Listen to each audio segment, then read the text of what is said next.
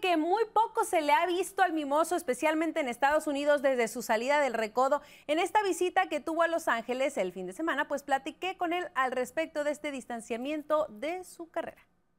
Que te ruegue quien te quiera.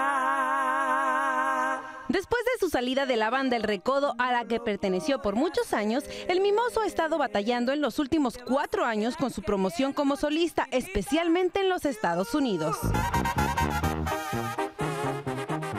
te sales de la banda El Recodo, por tu contrato había terminado, pero firmas un nuevo contrato para que ellos te apoyen ahora como solistas. ¿Qué pasó con ese apoyo y, con ese contrato que era de cinco años, no?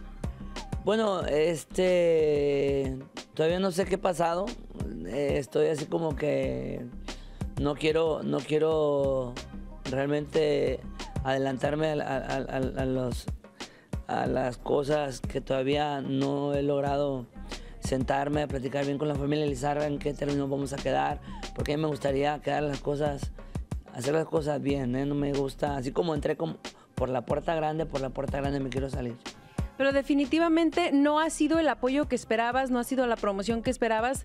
Eh, ¿Te han quedado a deber en ese sentido, dirías? No lo culpo, no lo culpo. Al final de cuentas, cada quien sabe lo que hace, cada quien este, te brinda un apoyo como cree que, uno a lo mejor se lo merece.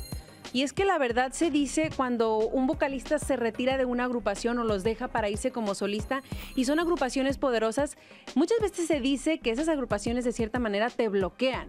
¿Estos también lo podrías decir que se ha dado el caso? Pues es que como te digo, dijera el maestro Juan Gabriel, lo que se ve no se pregunta. pero, pero no, sí, sí, sí, realmente estoy así como que en muchos sentimientos encontrados todavía. Eh, no me gustaría dañar a nadie con mis palabras, no me gustaría mucho menos tampoco este buscar esto para darme fama, entrar en polémica, ¿no?